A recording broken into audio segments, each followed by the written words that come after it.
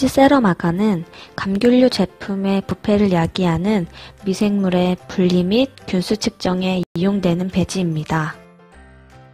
감귤류 제품은 낮은 pH 때문에 곰팡이나 효모, 락토바실러스 속 같은 내산성 미생물에 의해 쉽게 부패가 일어나게 됩니다.